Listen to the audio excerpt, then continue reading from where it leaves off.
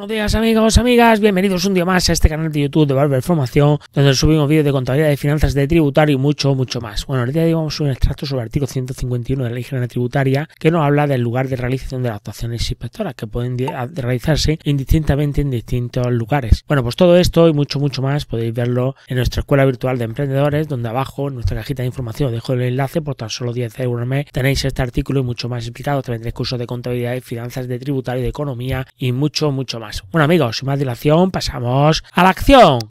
Bueno, vamos a comentar el artículo 151 de, de la Ley General Tributaria en el cual nos habla del lugar de la actuación inspectora. Bueno, las actuaciones inspectoras podrán desarrollarse, podrán quiere decir, es un de podrán, que pueden desarrollarse en cualquiera de los siguientes, eh, según determine la inspección, en los siguientes sitios. En el lugar donde el obligado tributario tenga su domicilio fiscal, según el artículo 48 de la Ley Tributaria, o en aquel donde su representante tenga su domicilio, despacho u oficina. En el lugar donde realice total o parcialmente actividades grabadas, o sea, donde se realice la actividad económica.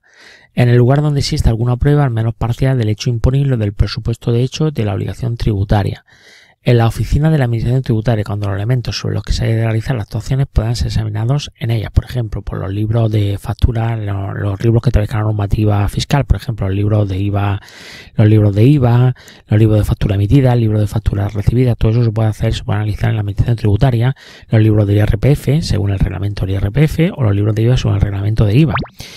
En los lugares señalados en la letra anterior es en otro lugar cuando dicha actuación se realice a través de los sistemas digitales eh, previstos en el artículo 99.9 de esta ley. La utilización de dichos sistemas requiere